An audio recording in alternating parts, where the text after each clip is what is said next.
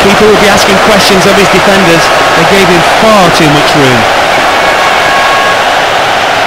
Well, I don't think he can believe his luck. The keeper practically gave him the ball and then it was brilliantly put through by that great pass. You could hear the voices of anger and discontent as soon as that one went in.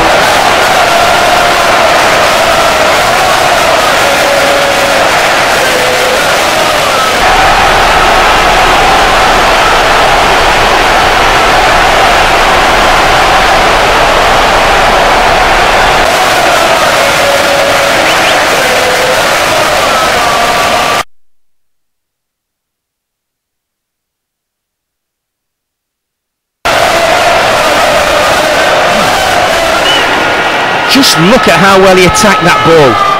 Maybe the defence could have done a bit better, but he was always favourite to get there. And when he did, there was only one possible outcome.